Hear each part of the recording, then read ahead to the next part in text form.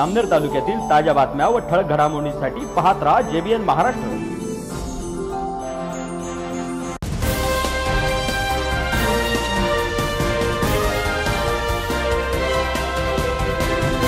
नमस्कार मी मिनल चौधरी. पाहूया काही ठळक वृत्त. जळगाव जिल्ह्यातील चोपडा तालुक्यातील मालापूर येथे आदिवासी संस्कृतीचा ठेवा जपणारा उत्सव म्हणजे भोंगऱ्या बाजाराच्या उद्घाटनासाठी राष्ट्रवादी काँग्रेस शरद पवार गटाचे आमदार रोहित पवार आज जळगाव जिल्ह्यातील चोपडा येथे आले होते. डॉक्टर चंद्रकांत बारेला यांच्या माध्यमातून या कार्यक्रमाचे आयोजन करण्यात आले होते. यावेळी जमलेल्या आदिवासी बांधवांसोबत रोहित पवार यांनी आदिवासी नृत्यही केले.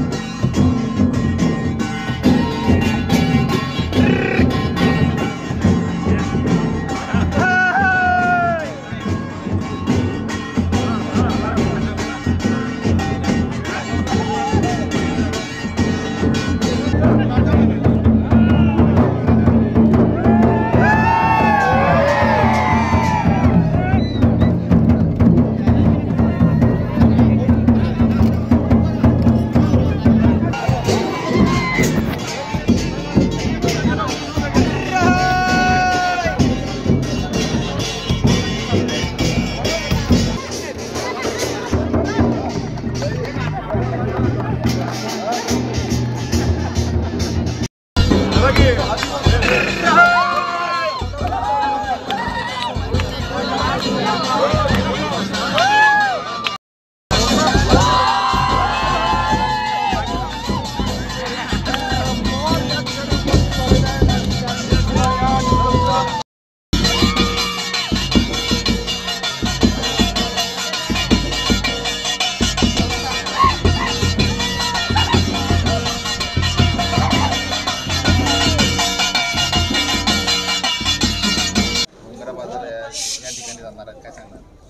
आज भोंगरा बाजार जो दरवर्षी इथे असणारा जो आदिवासी बांधव आहे तो मनापासून साजरा करत असतात. तिथं या परिसरातून लोक येऊन होळीसाठी जी खरेदी करावी लागते आपल्या कुटुंबाबरोबर तिथे येऊन ते येतात.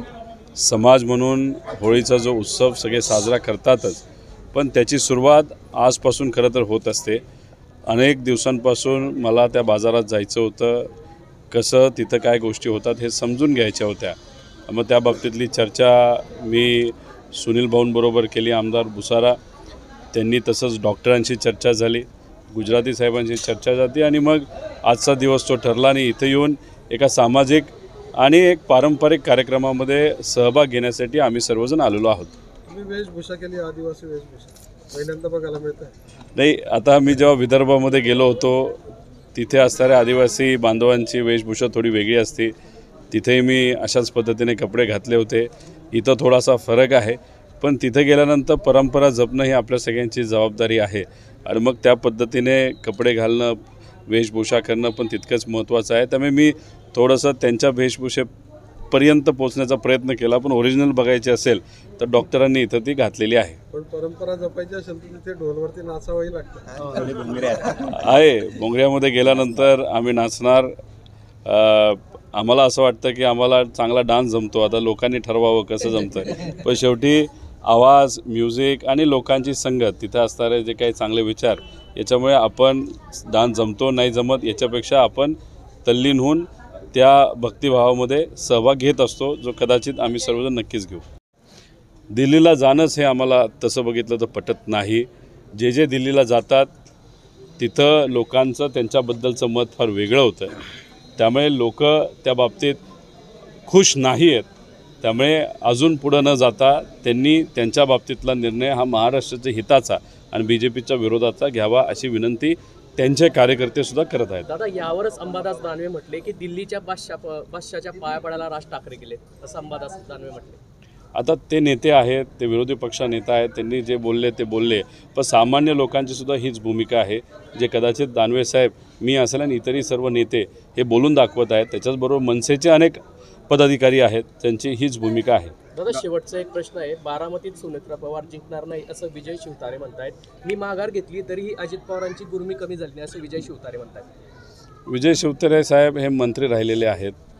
कदाचित त्याच्यामुळेच आणि पूर्वीचे काही संबंध असल्यामुळे अजितदादांना ते जास्त ओळखत असावे आणि त्या अनुषंगाने त्यांनी त्या बाबतीतलं वक्तव्य केलेलं आहे.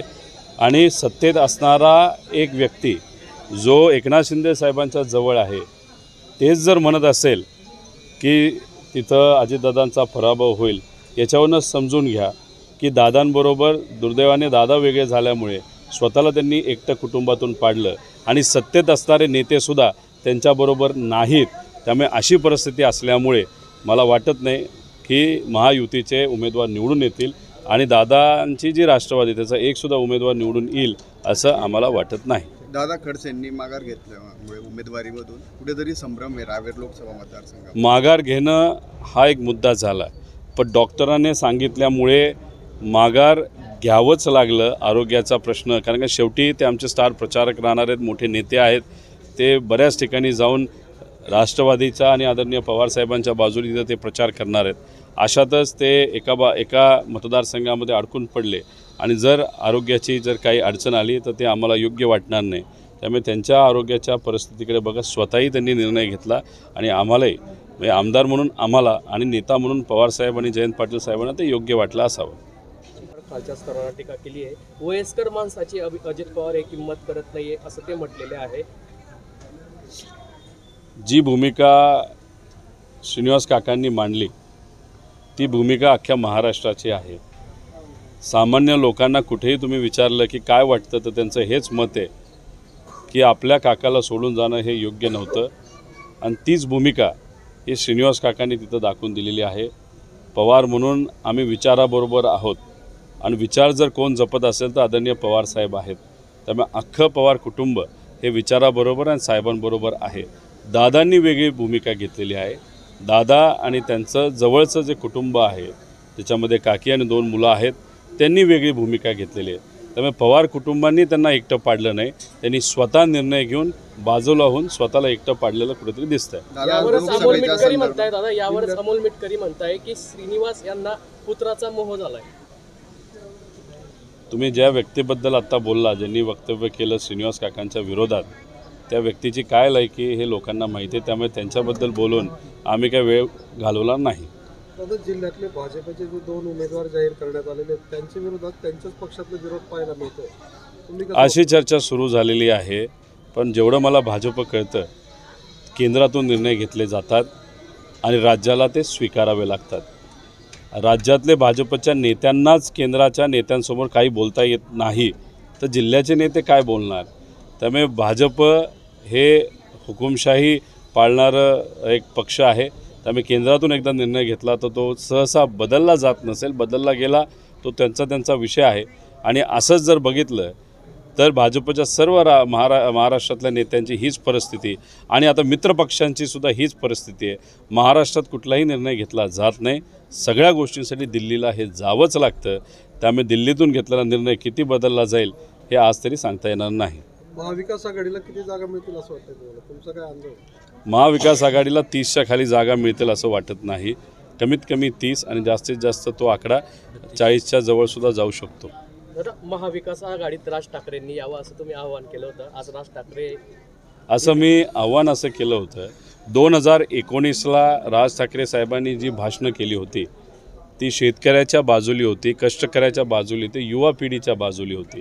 कारण बेरोजगारीचा प्रश्न दोन हजार एकोणीसला जेवढा अडचणीचा आहे त्याच्यापेक्षा आजचा तो प्रश्न अजून अडचणीचा झालेला आहे. आणि मग दोन हजार एकोणीसला भाजपच्या विरोधात आणि युवा पिढीच्या बाजूने ते बोलले होते. तर आमची अपेक्षा आहे की आज बेरोजगारीचा प्रश्न अजून अडचणीचा झाल्यानंतर राज ठाकरे साहेबांनी युवांची भूमिका घेत त्यांच्या बाजूली राहत भाजपच्या विरोधात लढलं हे जास्त योग्य ठरू शकतं. आणि नेहमी नेहमी मराठी अस्मिता त्यांनी जपलेली आहे. आता बी जे पीचं सरकार जेव्हा केंद्रात आले आणि राज्यात आले त्या दिवसापासून महाराष्ट्राचं महत्त्व आणि कमी केलं जातं आणि गुजरातचं वाढवलं जातं. स्वाभिमानी मराठी माणूस म्हणून आम्हाला ते पटत नाही. राज ठाकरे साहेब त्यांचं भाषण आणि ते स्वतः मराठी माणूस म्हणून स्वाभिमानी आहेत. त्यामुळे स्वाभिमानी माणूस हा बी जे पीवर जाऊन निर्णय घेणार नाही.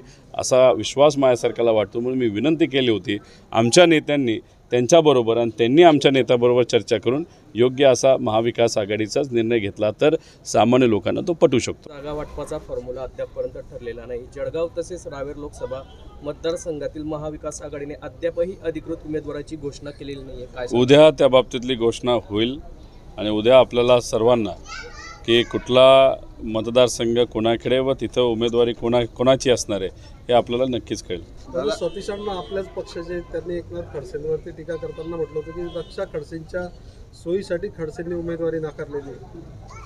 मला असं वाटत नाही. खडसे साहेब एक लढवय्या नेते आहेत. खरं तर या महाराष्ट्रामध्ये भाजप कोणामुळे पुढे आला असं तर त्यात खडसे साहेब आणि मुंडे साहेब येतात. आणि मग त्यांनी परिश्रम केल्यानंतर जेव्हा सत्ता भाजपची आली त्यांच्यावर अन्याय झाला.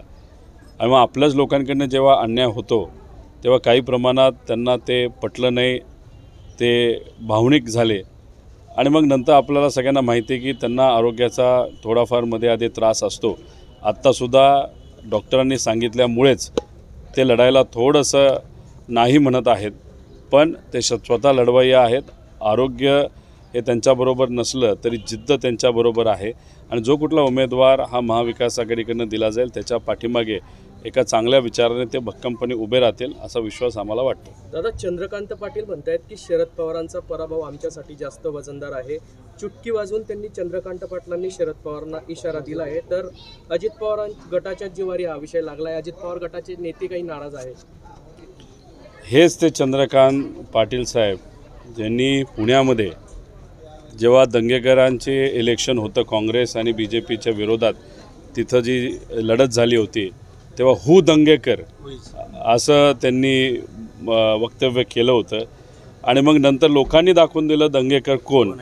तर आता पवार साहेबांबद्दल तुम्ही बोललेला आहात. तर बारामती मतदारसंघातली जनता तसंच महाराष्ट्रातली जनता हू इज पवार? आणि ते सुद्धा शरद पवार हे त्यांना दाखवून देतील.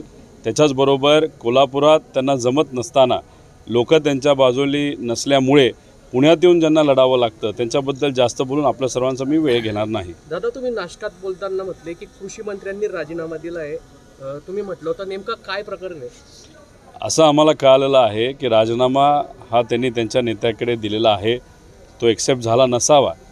पण गेल्या काही महिन्यांमध्ये कृषी मंत्री म्हणून त्यांचं कुठेही वक्तव्य आलेलं आपण सर्वांनी बघितलेलं नाही.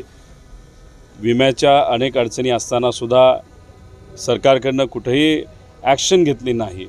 त्याच्याचबरोबर शेतकरी आज आमच्या अडचणीत असताना शेतकऱ्यांच्या हिताचा कुठलाही निर्णय सरकारकडनं घेतला गेला नाही. आणि या सर्व प्रक्रियेमध्ये जेव्हा आमचा शेतकरी अडचणीत आहे तेव्हा कृषी मंत्री कुठंच दिसत नाहीत. जेव्हा थोडीफार चर्चा केली तेव्हा असं कळालं की त्यांना ते मंत्रिपद मिळाल्यामुळे कदाचित ते नाराज असावे नाही तर दुसरा कुठला तरी विषय असेल. म्हणून त्यांच्या नेत्याकडे त्यांनी राजीनामा हा दिलेला आहे एक्सेप्ट केला नसला तरीसुद्धा ते दिसत नाहीत. याबाबतीतली चर्चा सामान्य लोकांमध्ये आता मोठ्या प्रमाणात सुरू झालेली आहे. या बातमी इथेच थांबूया. ताज्या अपडेटसाठी W W W J B N Maharashtra dot com या आमच्या वेबसाईटला लॉग इन करा. तसेच यूट्यूबवरील आमचे व्हिडिओ पाहायला विसरू नका आणि Google play स्टोअरवरील J B N news app download करून J B N Maharashtra news channel live पहा. नमस्कार.